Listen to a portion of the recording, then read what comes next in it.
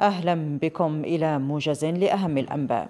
استشهد فلسطيني الليلة الماضية إثر تعرضه لإطلاق نار من قبل جيش الاحتلال الإسرائيلي في الضفة الغربية المحتلة.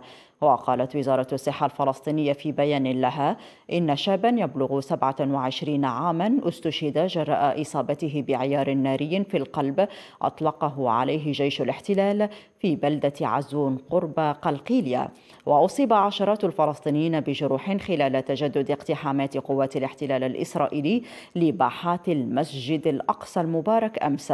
وقالت مصادر إعلامية إن عناصر الشرطة اعتدت على المصلين بالرصاص المعدني المغلف بالمطاط وقنابل الغاز. قتل حارس أمن صهيوني في إطلاق نار شمال الضفة الغربية. وقال جيش الاحتلال إن شابين كانا يستقلان سيارة أطلق النار على حارس الأمن في نقطة حراسة قبل أن يلوذا بالفرار. ونشرت قوات الاحتلال تعزيزات أمنية كبيرة ونفذت عمليات تمشيط واسعة بحثا عن منفذ العملية. كما طلبت من السكان إغلاق النوافذ وإطفاء الأضواء وإغلاق الأبواب حتى إشعار آخر.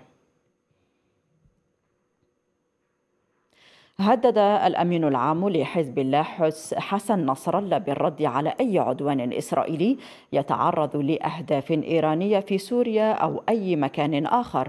وحذر نصر الله في خطاب ألقاه بمناسبة يوم القدس العالمي الدول المطبعة مع الاحتلال بأن القواعد العسكرية الموجودة على أراضيها وبما فيها الإسرائيلية ستكون هدفا لرد إيراني في حال أي عدوان لجيش الاحتلال. من هذه القواعد مشيرا إلى أن المساس بالمقدسات في القدس المحتلة سيؤدي إلى زوال الكيان.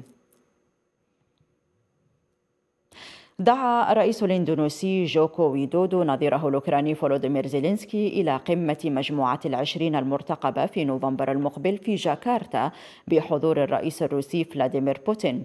وأوضح ويدودو أن الرئيس الروسي أكد مشاركته في القمة على الرغم من الضغوط الغربية الكبيرة التي تعرضت لها جاكرتا لاستبعاد روسيا من المشاركة بسبب تدخلها العسكري في أوكرانيا. ولفت, ولفت الرئيس الإندونيسي إلى أن أن الرئيس الأمريكي جو بايدن اقترح مشاركة أوكرانيا لتحقيق التوازن. تدخل العملية العسكرية الروسية في أوكرانيا يومها السابع والستين وسط استمرار المعارك بين القوات الروسية والأوكرانية بينما يواصل الجيش الروسي تنفيذ وتدمير المواقع والتجمعات العسكرية الأوكرانية بتحقيق مكاسب ميدانية جديدة في شرق أوكرانيا والاستيلاء على المزيد من القرى والبلدات وتشير التطورات الميدانية إلى تركز المعارك في المناطق الشرقية والجنوبية حيث أقرت كييف وقوى الغربية الداعمة لها بتقدم القوات الروسية. تبنى مجلس الأمن الدولي بالإجماع قرارا يقضي بتمديد مهمة بعثة الأمم المتحدة السياسية في ليبيا ثلاثة أشهر في أعقاب اعتراض موسكو على فترة أطول من هذه ما لم تتم تسمية مبعوث جديد للأمم المتحدة. ويمدد القرار تفويض بعثة الأمم المتحدة للدعم في ليبيا حتى الحادي والثلاثين جويليا المقبل. ويطلب من الأمين العام أنطونيو غوتيريش الإسراع بتعيين مبعوث يكون مقر مقره في طرابلس ويطالب كذلك القرار غوتريش بتقديم تقرير شهري بشأن تنفيذه حتى نهاية جويليا. سحبت شركة الأمن الروسية الخاصة فاغنر أكثر من 1200 مقاتل من ليبيا وذلك من أجل إرسالهم للقتال في أوكرانيا.